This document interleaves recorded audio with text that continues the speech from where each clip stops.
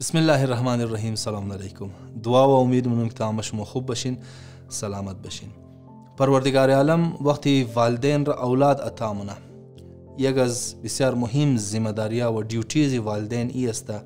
که ای اولاد را د صحیح انداز و د او انداز تربیت کنه که وقتی ای اولاد من اجتماع کلان شده بوره یک خوب انسان و یک خوب بنده خدا تیار شم دی غازی حواله والدین کوشش منن مهنت منن بسیار از والدین ای زحمت رمیخشه اما بعض اوقات چی کار مشنه بعض اوقات از خاطر لا علمی ندانستو علم نداشتو بعضی غلطیا و بعضی کوتاهیا را والدین و فیملیز برای تربیت اولاد انجام میده دو دنه بسیار مهم غلطیای والدین و فیملیز را مومی خیمنی امروز نه ویدیو دیسکس کنی کېنې ناسته.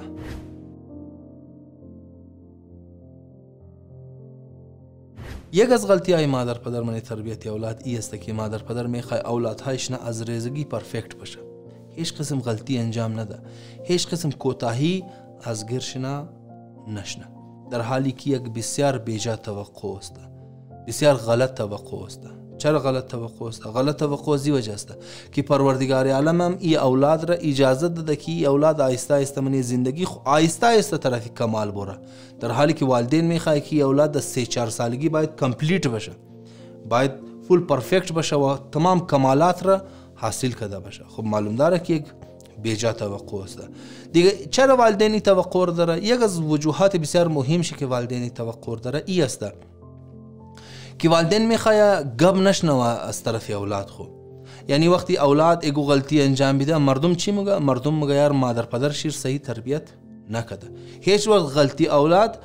ایر نشان نمیده که مادر پدر صحیح تربیت نکده بعض اوقات تقاضای ریزگی اولاد می است که باز کار هار انجام بده مومگی یک خوب بچه او است که شوخی نکنه در حالی که ماهر نفسیات از لحاظی ریزگی مگه خوب بچه او است که باید شوخی کنه بی کلان خو نیک شوخی نکنه کلانا شوخی نمونه ای خو ریزه است تقاضای ریزگی است ازی است که باید شوخی کنه و بعض اوقات من شو ازی شوخی اگر غلطیار انجام میده نمفهمه نه ای که د ضد مادر پدر خو غلطی غلطی را کده باشه بعض اوقات ذهن اولاد قص کمزور است یا ذهن اولاد دزو لیول است که بین خوب و بد تشخیص داده نمیتونه منی شوخی گر باز کارا را انجام میده نه مفهمه که بفهمه که کار غلط است بز از قصد انجام میده که مادر پدر خور سوخته کنه اون از این نیت بیچاره انجام نمیده دیگه تقاضای ریزگی از او است که باید بعضی شوخیار کنه و منی از شوخیا بعض اوقات غلطی بشنه از گیر کلانا وقتی غلطی مشنه دیگه ریزه خو به طریق اولا ممکن از گرشی غلطی شونه دیگه هیچ وقت غلطی یک اولاد نشانگر از این نی است که مادر پدرش خوب تربیت نکده لحاظا مادر پدر از ترس ازی که مردم شنا را گب نگه توقع داره که اولاد چنا باید فول پرفکت باشه هیچ غلطی هیچ انجام نده و از خاطر امزی توقع بیجا و غلط چیکار من اولادهای خونا اولادهای خور زیاد چپ من اولادهای خور زیاد قار مشن اولادهای خور زیاد به عزت نه دیگه در حالی که اینمی رویش از والدین از خاطری بیجا توقع غلط کارها را انجام میده و ای بیجا کارقو رو چپ کدو ای کارها باعث مشنه که اولاد بل یک منه یک بلوک نفسیاتی مسائل گرفتار شنه مثال که طور پر ممکن است ای اولاد صبح روز د احساس کمتری گرفتار شنه وقتی کلان شنه ای حقیقت ای چیز منه وجود چی پر شونه که بای ما پورا زندگی ما غلط بودم پورا زندگی ما غلطی کردم پورا زندگی ما کار خوردم دیگه بالکل ممکن است وقتی زیاد ریپیت شونه والدین کار خور زیاد ریپیت کنه دیگه ممکنه یادم ای بچه وقت دکلانی شکاری احساس کمتری شونه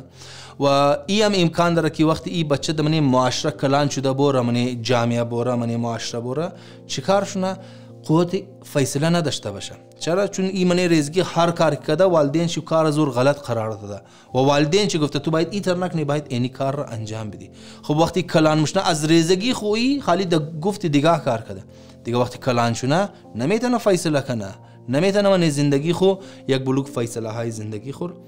کنه دیگه لحاظه والدین ای غلطی را هیچ وقت زیاد بلیشی انفسایز نکنه زیاد زور نزنه و بو فهمه که واقعا ای رویش و ای توقع بسیار غلط توقع است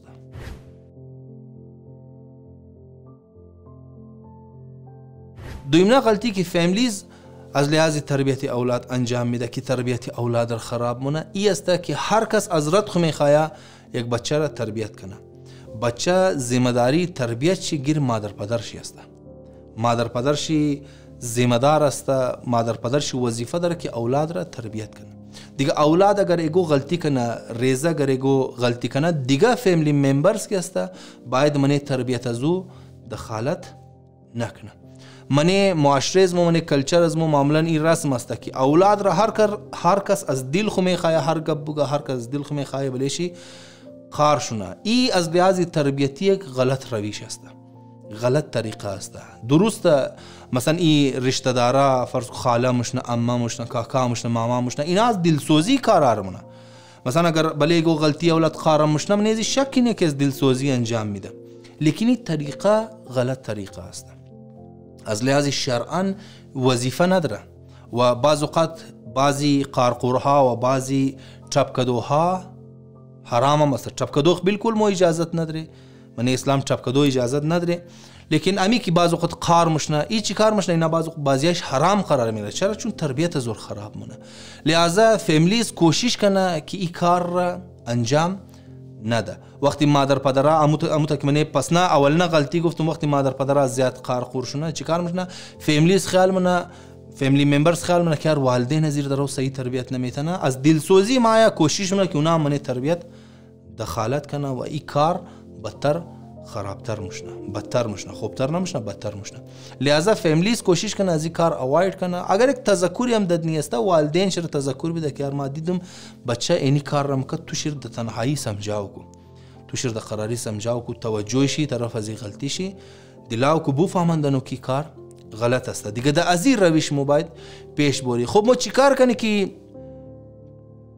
فیملی ممبرز ازی حواله ای کار را نکنه منی ازی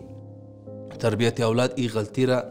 انجام نده ای است که بسیار معدبانه و بسیار ده بهترین انداز سمجاو کنی فرض کو کاکایش است فرض کو خالیز و اولاد است ابلیش همیشه قار مشنه همیشه شیر تنبیه نه شیر بوگی به این هیچ شکی نیه که تو دلسوز ازی هسته هیچ شکی نیه واقعا تو خوش داره و این کارها را از دلسوزی انجام میده لیکن چی کار مشنا ای دلسوزی است و ای کارها است و باعث مشنا که ای اولاد طرف خرابی بره ای اولاد طرف یک بلوک مسائل نفسیاتی بره البته ما خبر دارم کلچر از موی تنی است مو اگر فرض کن مره گو بای بگه یار تو بلی اولاد ما کار نشو ما فورا ناراحت مشتم مگم ای مر توهین کده نه توهین نی است یه اصول های زندگی است که پروردگار عالم شیر قرار داده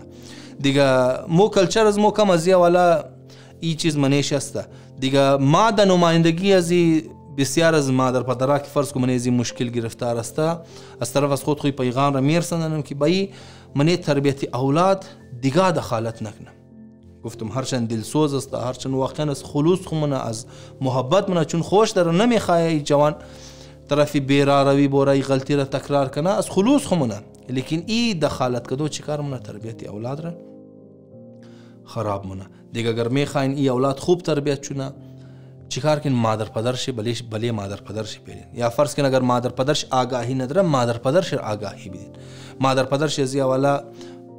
کتاب نه خانده یا علم ندرا شما کوشش کن مادر پدر شنا آگاهی شنا و علم شنا از یا والا زیاد شنا تا سرپرستی از تربیت را اونا